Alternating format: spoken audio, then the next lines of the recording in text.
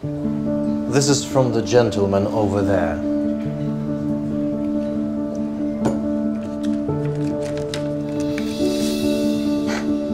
What the hell? He also sent you this bottle. It costs 15,000. Okay, now we're talking. You can go now, thank you.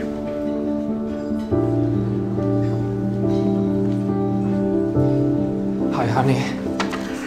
Sorry, I'm late. What have you got there? This old creep tried to pick me up. Deal with him.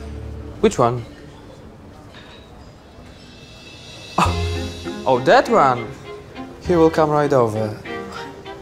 Hi, Dad. Hey, son. Um, uh, honey. Uh, this is uh, my father. Larry, Mr. Smith. And this is Leslie. I've been waiting to introduce you so long. Nice to meet you, Leslie. Son, this is so unexpected. I was just. Uh, you were just hitting on my girlfriend. Yeah. You have really great taste, I'm gonna give you that. Is Mrs. Smith here too? Honey, relax. My parents are divorced. And my father has been in search, so to speak. That's right. Leslie, please, I would have never done something like this if I knew you were with someone. Someone? Son, stop it, okay? Because your girlfriend's gonna think that I'm just. a- Wonderful father. Great man with really good taste in sparkling wine. Maybe you will join us.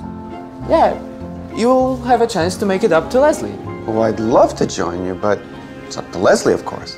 Mr. Smith, I think we should start fresh and forget about this. Yeah. Leslie, please forgive an old fool like me. It's okay, honey. You can open the bottle. It's not getting any colder.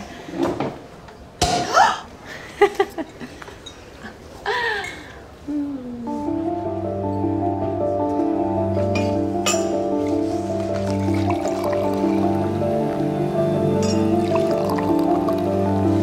Larry, here's your glass. Thank you, Leslie. So, to unexpected meetings. Oh my god, so that is why Sam has this strange habit of making weird faces in the mirror. The apple doesn't fall far from the tree. Sam, listen, why don't you go to the bar? Get another bottle of wine for us. Mm. But the restaurant closes in 15 minutes. Listen, your evening might be over, but mine, it's just beginning. Okay, whatever you say, Dad. Yeah. Oh. so, Leslie, how long have you two been dating? Five months now? Really, huh? So it's just the beginning, huh? Is it serious? Well, I don't know. Yeah. You know, Sammy's a bit indecisive. What do you mean? Sam's a loser. Well, he's pretty much a loser. Obviously, he can't support you for your future. It's clear. I think that you've had too much to drink. No, sweetie, I haven't had too much to drink. You deserve better than Sam. I don't like hearing that. Yeah, and I don't like having a son who's ready to walk away from a multi-million dollar family corporation for some stupid little startup of his own. So what? Maybe he'll succeed. Nah, sweetie. You know, I've been in business my entire life. Guys like that, losers, they don't stand a chance. Why are you telling me this? Because I know that Sam can't give you what you need. So, who can? Go ahead, look.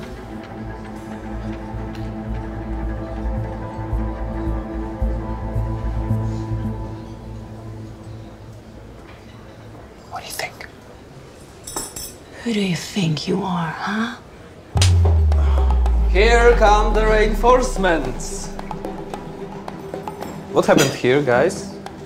You know, honey, I'm tired. Let's go home. Dad, don't you want to come with us? No, son, it's okay. Like I said, my evening is just beginning. Yeah. Okay, fine. so I'll call you tomorrow. Bye, Leslie. It was nice meeting you.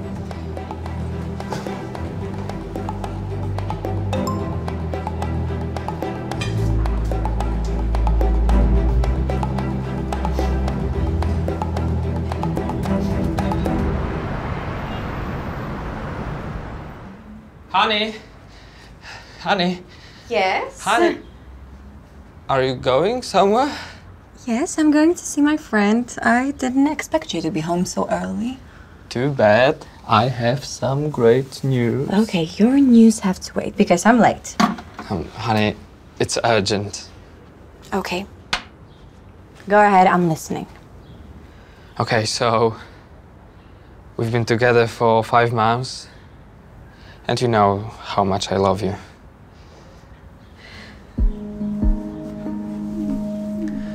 Will you marry me?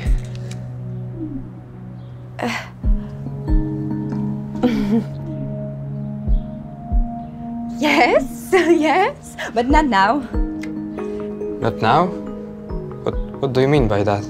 Sam, what did you expect? I mean, I can be sure of our future together, not yet. As soon as your business picks up, then we'll do it, okay? Darling, I'm really trying, and I work hard. I think you might not love me at all. If you want to be a general's wife, you have to marry a private. Honey, that's the way it's gonna be, okay? I said yes, but we'll need to wait until you make your first big money. I'm late. I need to go. Bye!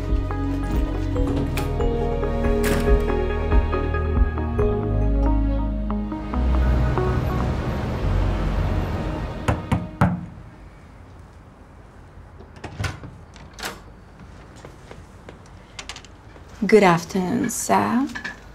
I've got some mail for you. A letter. I love getting mail. Why don't you come on inside and we'll read it together? Hmm?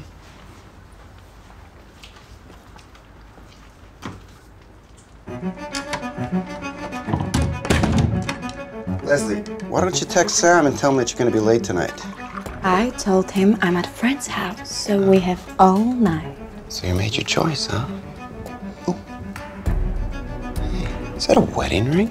A wedding ring? No, it's just a piece of jewelry. Do you like it? I like it. I love it. It's gorgeous. You know, that looks just like the ring that Sam bought for you. Uh, how do you know that? We picked it up together. That's right. I was begging him not to spend so much money on it. It was the most expensive ring in the store. Sam, what are you doing here? It's a sapphire. It represents loyalty. Ironic, isn't it, Leslie? Honey, I came here just to. And you know what else is ironic? Is that Sam paid for that ring by himself. I didn't help him out whatsoever. He's doing really good with his new business. I tried to tell you that, but you were going to a friend's house. Honey, I'm sorry I didn't want to bother you, but your father has been harassing me. He threatened me, and I just came here to tell him that nothing will happen between us because I love you and only you, okay? Leslie, you play a good game. But this was just a test right from the beginning, and you failed. But you know what? I'm really glad it happened. Sam, do you really believe him over me? Really? That I'm sorry, I didn't believe you. But you were right about her at first place. Don't worry about it, Sam. She doesn't deserve you. Yeah, I told you. If you want to be a general's wife, you have to marry a private. Okay. You know what? Go to hell. Both of you. Leslie! You don't have to go home. I packed your things and left outside the hotel.